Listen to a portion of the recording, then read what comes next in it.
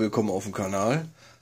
Etwas länger abwesend gewesen, weil ich spontan irgendwie äh, über eine Woche im Krankenhaus lag, also fast zwei Wochen. Und da ist so ein bisschen schlecht mit äh, Videos drehen. Deshalb heute das erste Video sehr lang. Ich habe gesehen, sind irgendwie äh, zwei, drei neue Abonnenten dazugekommen, finde ich gut. Auch wenn ich nichts gemacht habe. Aber ähm, ja, freut mich. Freut mich immer. Und heute gibt's mal wieder, wie ihr schon seht, was äh, Warhammer 40k-mäßiges. Und zwar nicht den Codex, nee, nee, den hatten wir ja schon. Wir machen heute einmal eine Armeevorstellung, quasi der aktuelle Aufrüstplan, so wie es im Moment aussieht. Und immer wenn es dann grundlegende Veränderungen gibt oder wieder was dazugekommen ist, ähm, werde ich das dann vorstellen. Und wir fangen an, nicht mit den Necrons, obwohl ich eigentlich dachte, die spiele ich als erstes, aber nein. Ich habe letztens das erste Testspiel mal gespielt. Ähm, habe ich jetzt nicht aufgenommen, weil das war echt äh, viel Regelgeblätter und hätte, glaube ich, irgendwie den Rahmen gesprengt. Des Weiteren ähm, wollte mein Kollege nicht, dass äh, seine Modelle, die noch nicht bemalt sind und teilweise nicht zusammengebaut sind, irgendwie ins Netz gehen. Das möchte er dann lieber erst, wenn es fertig ist. Ähm, ja, ich habe gespielt mit meinem Astra Militarum und ähm, zwar gegen eine kombinierte Armee aus Fischköppen und Zäpfchen, also sprich Tau und Elder. Und äh, ja, habe auch, obwohl ich dachte, bei den bei der Kombination, dass ich verkacke, habe ich aber relativ deutlich gewonnen. Also es ist kein Fahrzeug abgeschossen worden. Und ja gut, Fußvolk schon, aber ja, lief auf alle Fälle besser als gedacht. Und deshalb bin ich jetzt so ein bisschen am Astra Militarum zusammentüddeln, weil bei den Necrons muss ich noch sehr viel bauen. Hier muss ich nur ein bisschen malen, weil ich noch alte Modelle hatte und ähm, von eBay auch welche geholt hatte. Die muss ich nur ein bisschen umstrukturieren und malen. Ja, würde ich sagen, fangen wir erstmal an und ich äh, baue mal kurz hier ein bisschen was auf. Das zeige ich euch nicht, das würde nämlich den Rahmen sprengen und dann sehen wir uns gleich wieder. So, fangen wir mal an mit meiner Aegis Verteidigungslinie. Ähm, habe ich freundlicherweise vor ein paar Jahren zum Geburtstag geschenkt, wo wir das letzte Mal irgendwie aktiv Warhammer ein bisschen gespielt haben. Also wie gesagt, schon ein bisschen länger her. Die habe ich auch schon etwas bemalt soweit. Die wurde jetzt äh, grundiert mit dem ähm, der Ami Painter Grundierung. Ist leider, ich habe jetzt leider kein Tageslicht mehr hier. Ähm, wurde grundiert mit der Ami Painter Grundierung, wie gesagt, diesen Tacken hm, ja heller als äh, als die, äh, als das Kataran Green, was ich im Moment nehme, oder Castellano, wie das jetzt auch immer heißen mag. Da gibt es ja eine tolle Tabelle, ich bin ja schon ein paar Jahre raus. Deshalb muss ich da mal reingucken.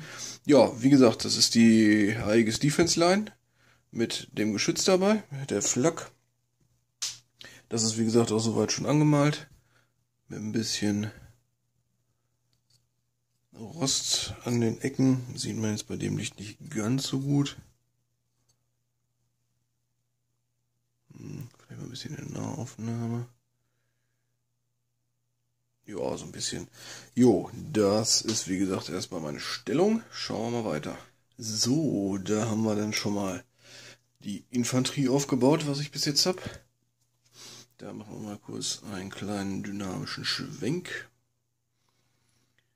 Äh, ja, das klappt gar nicht mal so gut. Da müssen wir anders schwenken vom Stativ runter. So.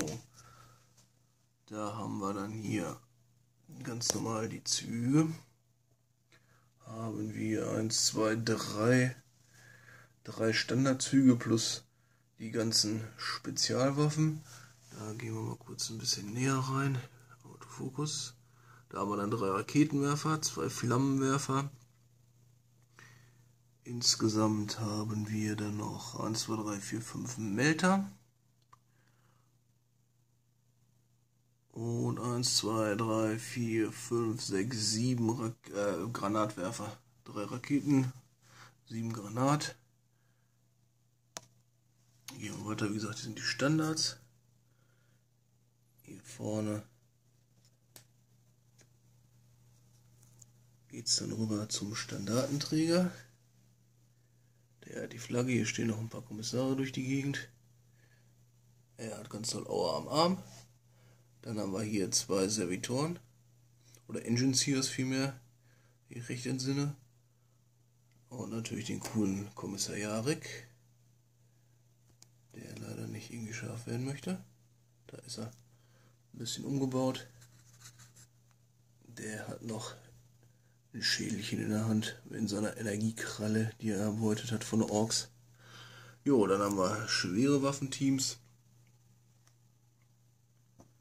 Mit Mörser, Laserkanone, Maschinenkanone und so weiter und so fort. Jo, das ist das Fußvolk. Ich versuche das mal hier wieder einigermaßen schwupp einzuhängen, jawohl. Interessantes Stativ, aber funktioniert. Jo, das ist soweit die Infanterie. Und dann würde ich mal sagen, baue ich mal weiter um und dann schauen wir weiter. Weiter geht's in Real Life Action. Das haben wir jetzt hier äh, alles greifbar. Kommen wir zu den Fahrzeugen. Hier haben wir erstmal einen einzelnen, hm, etwas einsamen Senti. Der haben wir, den haben wir dabei. So, dann haben wir im Transportsektor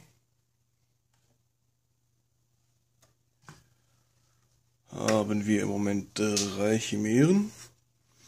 Die ist äh, im anderen Stil noch. Die ist zugekauft.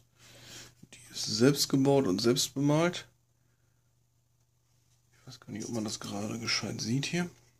Also diese Tageslichtlampe, ich weiß ja nicht, so zum Basteln ist so ganz cool, aber um dann wirklich was zu sehen, ich weiß nicht.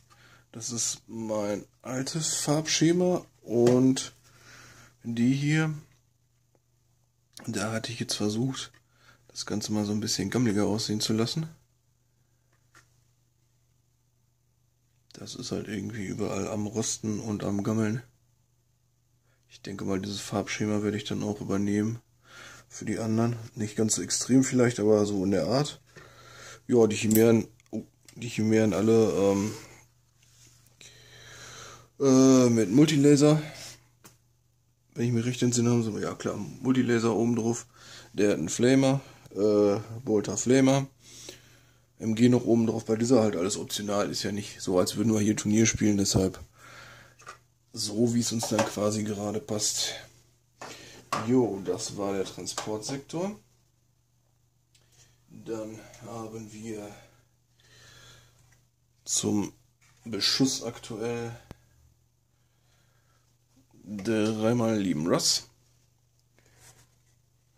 Einmal mit dem normalen äh, Geschütz, zwei schwere Bolter an den Seiten und ein schwerer Bolter vorne. Äh, Blödsinn, eine, was haben wir denn da? Maschinenkanone, der Kanone. Äh, muss ich selber nochmal nachgucken. Dann haben wir hier einen ohne Seitenkanzeln, ganz normal mit dem Geschütz, aber mit einem schweren Bolter vorne. Und ein nochmal, ist auch dazu gekauft mit Geschütz und tja, Kanone muss ich mal gucken, welche das ist. Wie gesagt, so ganz bewandert bin ich da noch nicht. Jo, das kann man, die kann man halt auch als äh, Schwadron dann spielen, zu dritt. Dann haben wir zur Unterstützung einen Basilisken. Der ist auch schon fast soweit fertig. Da muss noch ein bisschen Rost dran. Ein, zwei Details noch angemalt werden an Mannequin und so. Ein bisschen Abnutzung und so. Der ist aber ansonsten schon ganz fein. Macht auch Spaß zu spielen. Dann geht es weiter mit dem supergeilen Medusa-Geschütz. Von äh, Forgeworld habe ich mir das Aufbaukit bestellt. Meine einzige Fortschrittbestellung, die ich damals und bis jetzt überhaupt gemacht habe. Wie gesagt, Medusa-Geschütz oben drauf. Super schwere Treffer mit dem Bunkerbrecher-Granaten. Stärke 10 plus 2 W6 ist äh, schon mächtig. Also wenn die fetzen auf die Dreier Schablone, das macht auf alle Fälle Bock. Sehr viel sogar. Absoluter Bunker, Gebäude, Panzerknacker. Und dann haben wir in der Luft bis jetzt eine, sollen aber auch vielleicht noch etwas mehr werden. Da habe ich mir auch die Mühe gemacht das Cockpit sogar mit angemalt, alles innen drin. Den habe ich mir auch neu gekauft damals. Auch wenn der Autofokus den nicht so haben mag. So, jetzt eine Valkyrie Vendetta. Also bis jetzt ist noch nichts unten drunter gebaut. Aber ich denke mal, ich werde hier als Vendetta spielen. Ein bisschen vor, vor lauter Freude habe ich schon das Ding hier um. Bisschen Feuerkraft in der Luft. Dann hat ihr dann an der Seite zwei schwere Bolter, die je nach Lust und Laune auch mal rauskommen. Da sieht man das vielleicht, dass da einer drin ist. Nein, sieht man nicht. Ach ja. Naja, ist auf alle Fälle zwei Bolter an den Seitenkanzeln drin. Türen kann man auf und zu machen. Wie gesagt, will ich als Vendetta spielen. Habe ich auch gespielt jetzt im ersten Testspiel. Aber wie das mit der lieben Reserve so ist, die äh, wollte irgendwie gar nicht wirklich ins Spiel kommen. Und dann haben wir noch natürlich den Stolz des Imperators, auch relativ neu eingetroffen. Erstes super schweres Fahrzeug, was ich jemals besessen habe. Äh, Baneblade. Mit dem Baneblade geschützt natürlich. Mit der Demolisher. Zwei äh, Laserkanonen an den Seiten. Und synchronisierten Bolter. Ja, halt Baneblade. Sieht geil aus. Macht geil Bock. Und ähm, ja, schießt auch gut mit der mit der 10 Zoll Schablone, also macht auf alle Fälle Laune mit dem Geschütz. Ist es nicht ganz original. Den hatte ich auch gebraucht erstanden. Normalerweise geht das Geschütz nur bis hier. Das ist noch das Helmer Geschütz, meine ich. Das ist allein wegen der Optik hat der Vorgänger das da dran gebaut. Habe ich jetzt auch dran gelassen. Finde ich, sieht ganz cool aus. Man weiß ja, was es ist.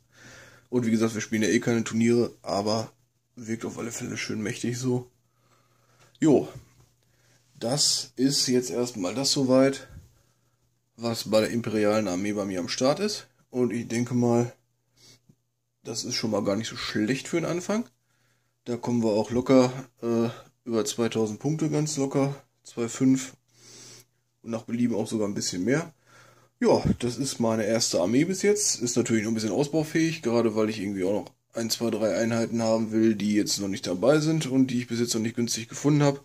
Und ich scheue mal so ein bisschen davor zurück, irgendwie die ganz neu zu kaufen. Also ich denke, bei ein, zwei wird sich nicht vermeiden lassen. Aber schauen wir mal, was eBay und Konsorten so bieten.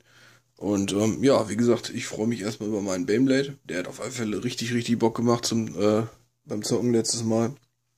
Und die, äh, das Baneblade-Geschütz mit der 10 Zoll Schablone ist absoluter Truppenkiller wenn da ein Volltreffer kommt. Und ähm, ja, dann ist die Einheit eigentlich meistens schon brei.